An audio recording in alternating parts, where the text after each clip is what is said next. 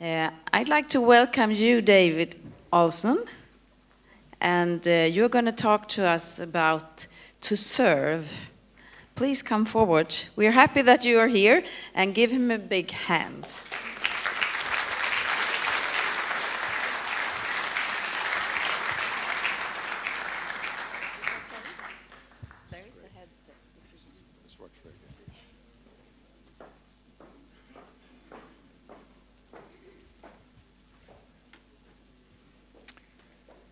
Well, I am very thankful to be able to be here. And uh, my wife Shelley is in the front row here, and I'm very glad that she can travel with me. And tonight you'll hear Efrem Smith and his wife Donecia is here. Efrem is quite a bit younger than I am, but he was my pastor in Minneapolis until a few years ago when he became the superintendent of beautiful California and a couple of other states. And so I have listened to lots and lots of sermons of Efrem, and he's a wonderful speaker, and you will enjoy that a lot. And also, so glad that Don Ingebrigtsen is able to be with us as well. Um, I was asked to speak on the subject of to serve. And just before I do that, I want to let you know that the connection I obviously have with this group is I'm connected most of all with the Swedish Covenant Church that now is a part of the new group, which in English I've heard is Joint Future, right? Joint Future. And um, so occasionally I will accidentally lapse into the Swedish Covenant Church because it's ingrained in my mind. And I just want to warn you that. But you'll be happy to know that I was born in a family that was part of the Swedish Baptists. So, you know, I can connect at least two out of the three, and I'm going to leave Efrem to tell you that he can even do better than me, but you'll just have to wait and see on that one. So, I want to do something very simple this afternoon. I want to read some passages of Scripture, three different ones that can help us to think about what it means to serve. And then I've got two stories I want to tell you that will illustrate that. And that's it. So, if you can listen carefully to the first scripture, it's Mark chapter 9, verse 35. Sitting down, Jesus called the twelve and said, Anyone who wants to be first must be the very last and the servant of all. Anyone who wants to be first must be the very last and the servant of all. There was a man about 125 years ago, and his name was Axel Carlson. Have you ever heard of Axel Carlson? Anybody here? Now, where do you think Axel may have come from? Okay. He came from Sweden. He actually was sent by the Swedish Covenant Church. But some of you may know this story better than I, but I do know for some reason, because Sweden is so far north, that there was a lot of interest in the gospel going to Russia, and particularly the eastern part of Russia by Siberia. So uh, in the 1880s, he moved to Russia and he lived there for a while, and he really wanted to preach the gospel in Siberia. So when he got to Siberia, guess how he was welcomed? They put him in prison for three years. Now, when you get out of prison for that, do you probably want to stay around and hang out with the brothers and sisters in Siberia? Probably not.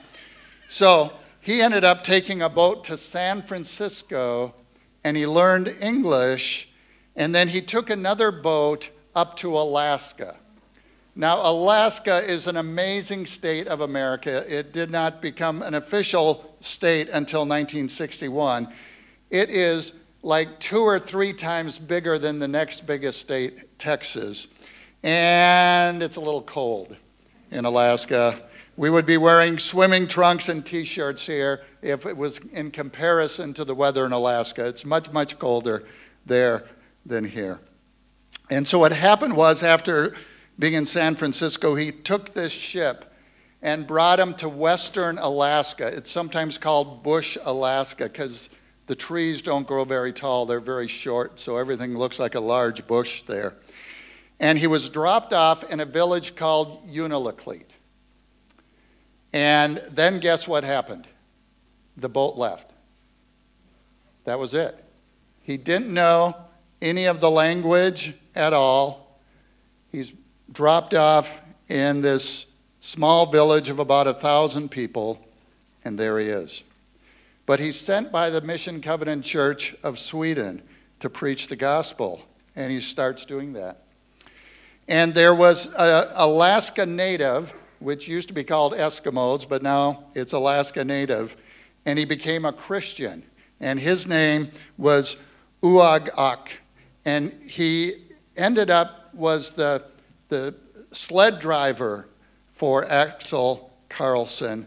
But when he became a Christian, he got this passion to preach the gospel and ended up being a pretty powerful preacher to his people, sometimes preaching to crowds as large as a thousand, which the largest village is hardly bigger than that. So it's quite an amazing thing.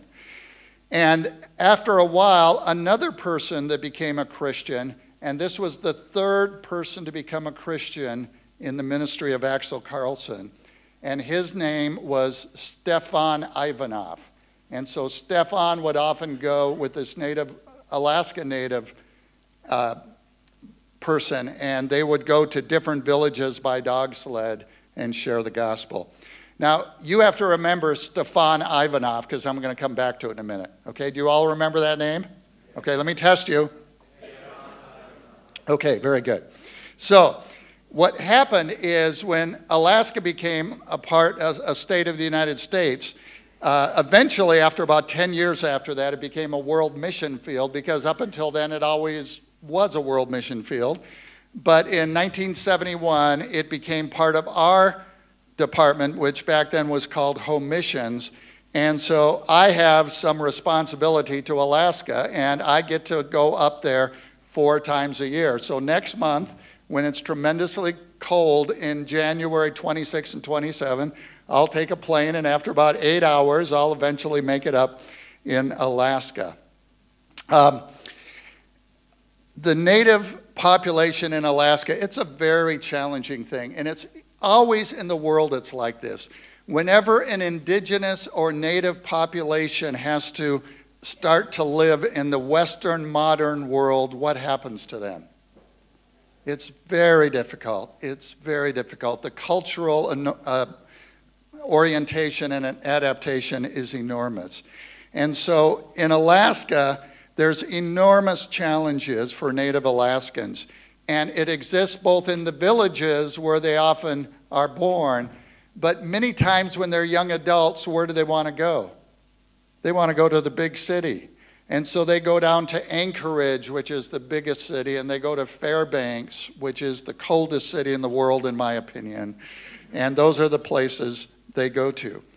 And they experience, a, there's a lot of alcohol addiction, uh, there's an enormous amount of sexual abuse that goes on in families. There's suicide is very prevalent in Alaska Native.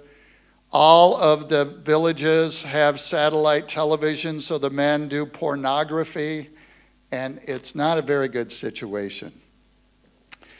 Well, for 125 years, the covenant has been working in Alaska. We now have 12 churches and villages.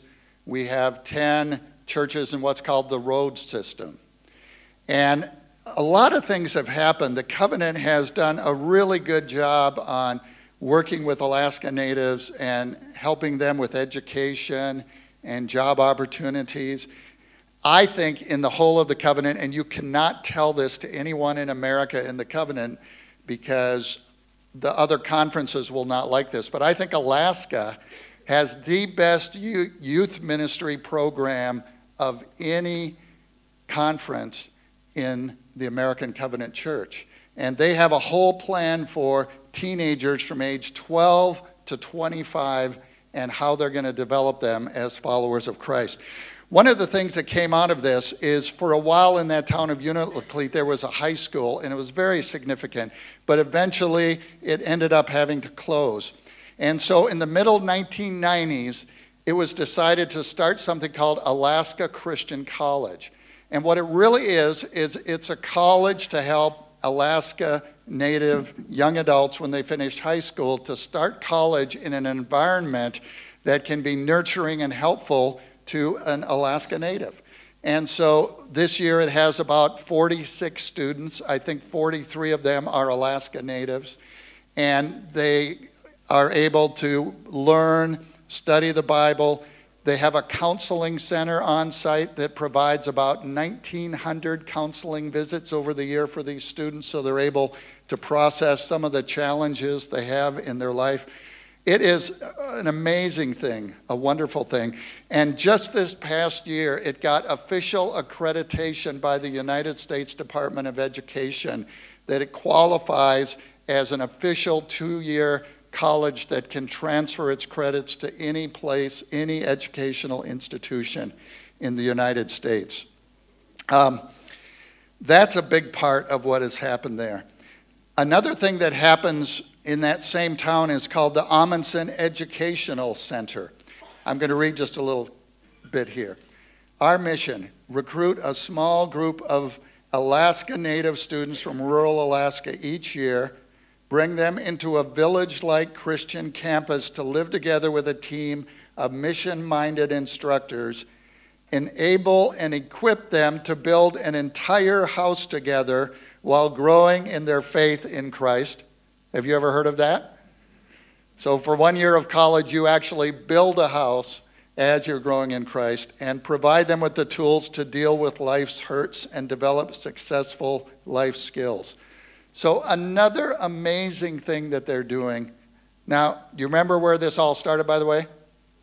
Don't, go, don't tell me Stefan Ivanoff. It was Axel Carlson. It's because one man decided to what? Serve, right? Okay, one more thing here. In the Alaska Covenant Youth, because of their youth ministries and educational institutions over the years in Alaska, it produced the first Native medical doctor, the first Native lawyer, the first Native senator in Congress, and the first Native 747 pilot, along with many of our village and road system pastors.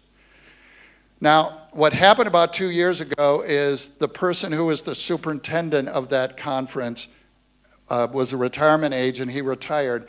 And I was to work with a search committee to help find the new one. And so we did a process. We ended up coming up with three candidates. One of the candidates was by far the youngest. He was only 40 years old. In fact, he might have been 39. And in Alaska, elder is a big deal. When you're young, you don't have much authority. It's an elder based culture there.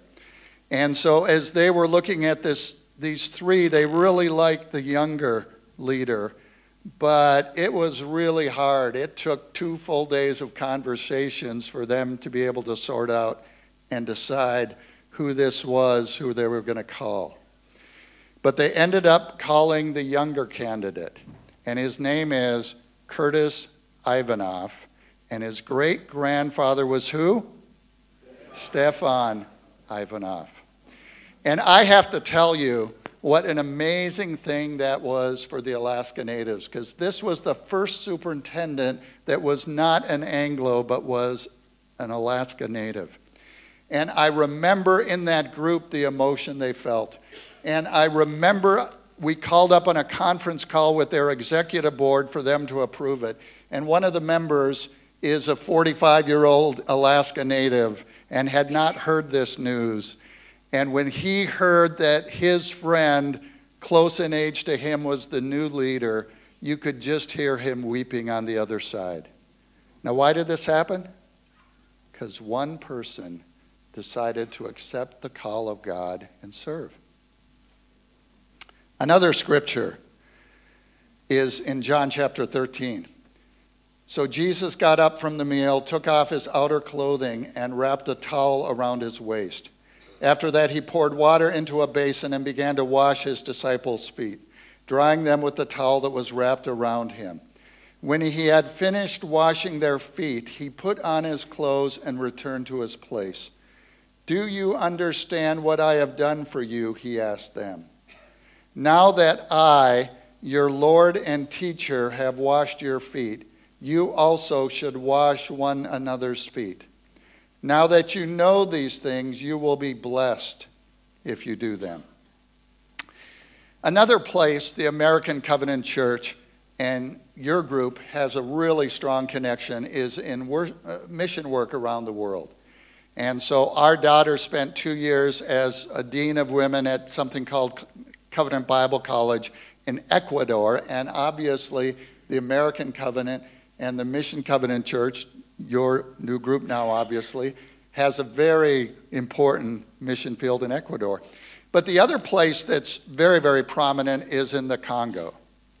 Now, in the Congo, you have a different province than we have.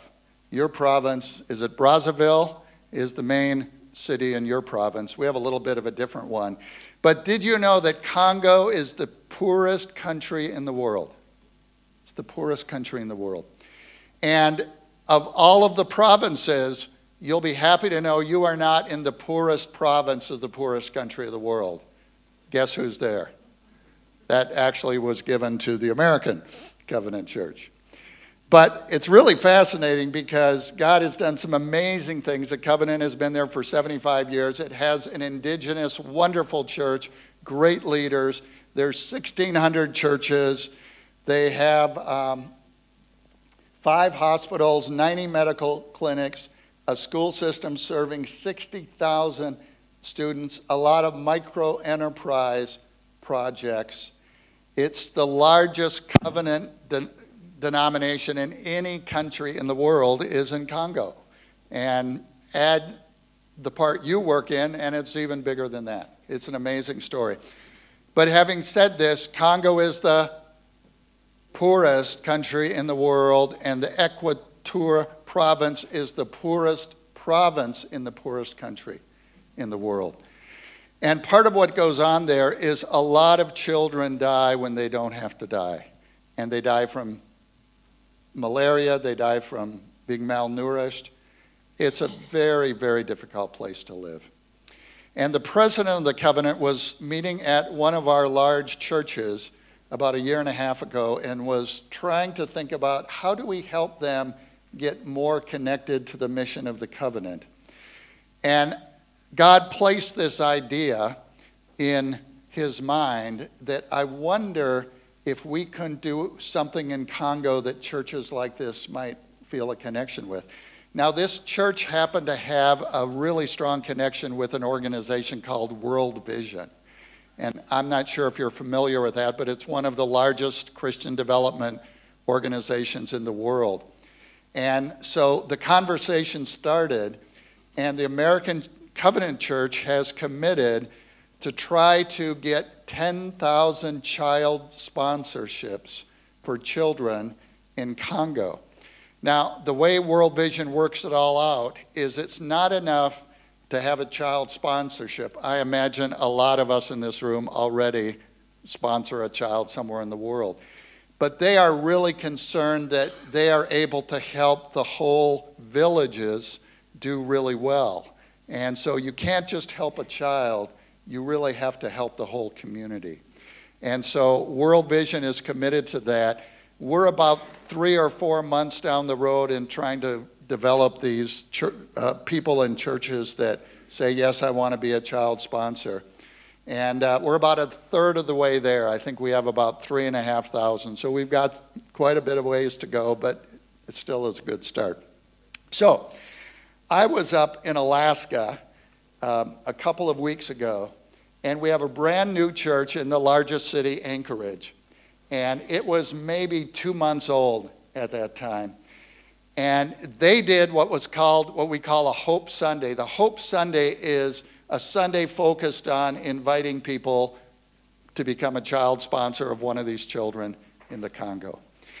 And after the service, people could go to a table and pick up a card that had the picture of the child and some biography on the child and that sort of thing, and could adopt that child. So about 15 families had picked up the cards. They had received 20 because it's just a brand new church. And there were five left. And I stood at the table and I read the names and I looked at the pictures. And one of them stood out to me. His name was Dieu donne. Now, I took some French in high school and I knew what that meant God gives. And I looked into his eyes in the picture and I knew God was saying to me, I am giving Dieu to your family, to you to serve, so he can live a better life. Let me tell you one last verse. It's a very short one, a very important one in Scripture. Mark 10 45.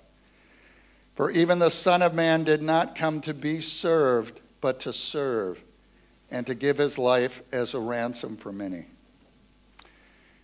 I, I'd like you to think this afternoon about when God calls you to serve, you may actually be doing something parallel to what Jesus was called to do.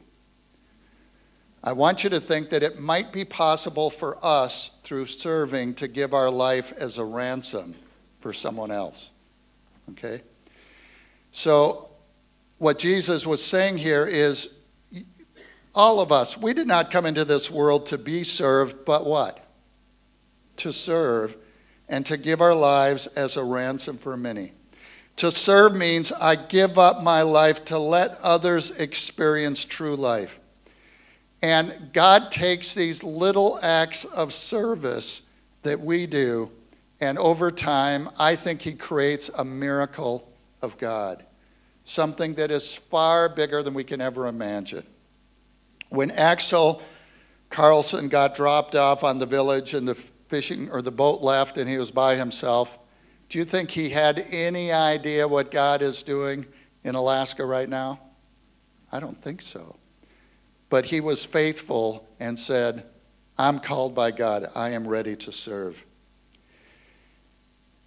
Um, in Congo, when the missionaries from Sweden went, when the missionaries from America went, when the church is bigger than the churches in Sweden and America, we're amazed.